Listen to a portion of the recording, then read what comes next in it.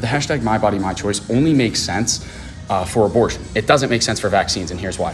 If you're saying hashtag my body, my choice for vaccines, um, that makes no sense because it's not only your body, it's affecting physically other people.